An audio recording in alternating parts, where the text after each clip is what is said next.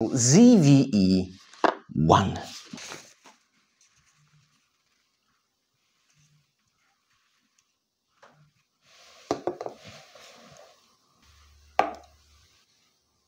Compared to the ZV-E10, it's like 30% more. It's a full frame. Way bigger sensor. Ta-da!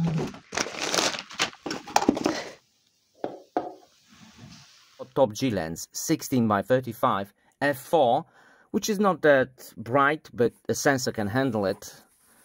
And the lens itself has a lock iris lock. Here it feels so nice. And on the other side we have a power zoom dedicated button to customize whatever you like to it and autofocus. The rings itself feels very nice Microphone, USB Type-C for charging, memory card, micro HDMI, which is not great, but it is what it is, and headphones. And on the bottom, we do have for the battery. This is for my stand, whatever. Let's turn it on. The screen is touch sensitive, so you can record. Look at that power zoom. Damn. It is great and silent. You can make insane videos with that zoom. Anyway, let's stop the recording. Let's hit the menu. I, I don't like how the menu is at the top. It should be somewhere around here. Would be much better. Anyway, let's stick with the main features because it's like too many of them and this video will be too long. File formats. That's all of them. I'm mostly using an SI version, which is most powerful. Uh, let's start with a HS in 4K. And then here you can choose between the frame rate, and uh, different record settings.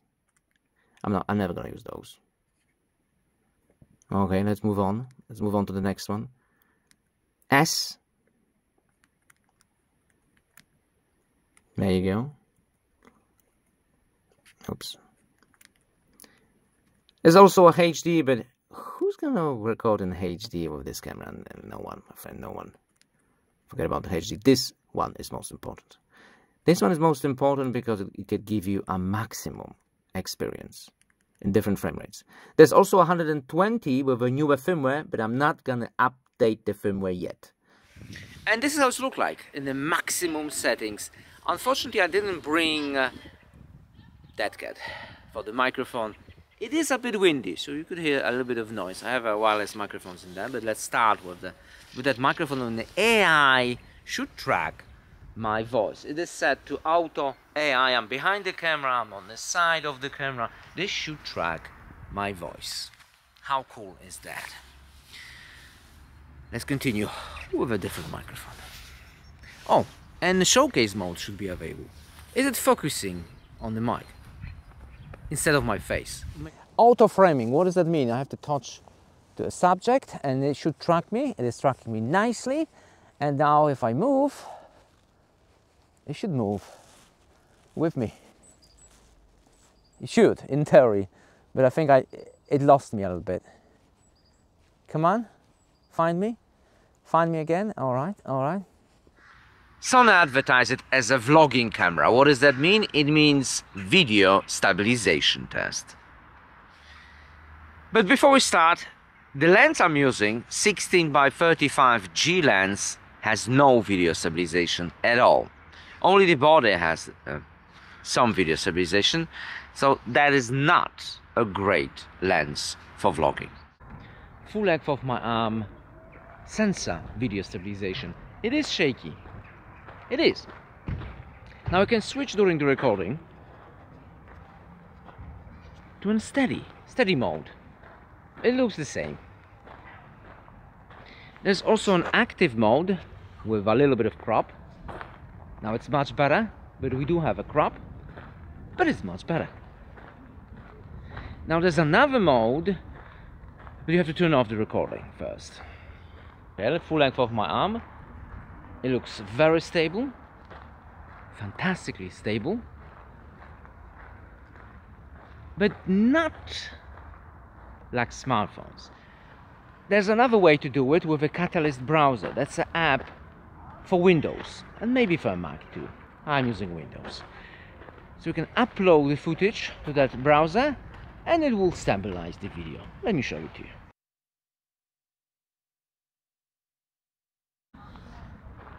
How stable that is. Well, it looks stable.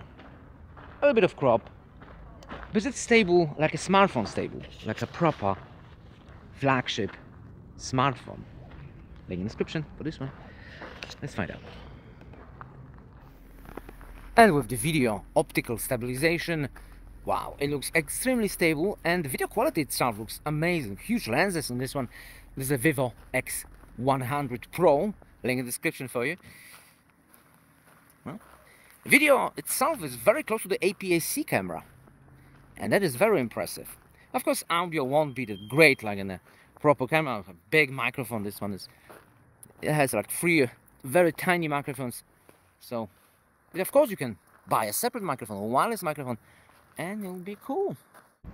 With the smartphone, you can do telephoto immediately. Of course, you can change the lens, but this will take time, and time is money. And with the telephoto, you know, the slouch, wow, very impressive for, for Vivo. Damn, can go to 10x. That's crazy. And of course, with the main sensor, we do have that beautiful bokeh effect. So I can see it's great. Cinematic mode is really cool. There is one feature was a deal breaker for me that's no crop in 4K 60. At the moment we are on a 4K 30. 4K 60, zero crop. Pictures come out really great. It all depends what lens are you using. This is wide angle lens, so it's all wide. But still, like really good pictures. There will be a link in the description for you to download original samples. It's basically a night vision sensor. Even with lens f4 could give you a maximum experience. That is crazy. And manually, of course, I can do something insane. Look at it. it's basically daylight. It will recognize cars, planes, all kinds of stuff.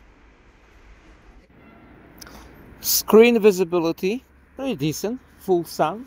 You can stream in 4K and do all kinds of stuff. You can connect a smartphone to monitor your video and control the camera of the smartphone tons of features, but this video will be too long. It has the same sensor, sensor than FX3, which is a cinema professional camera, and A7S3, those names.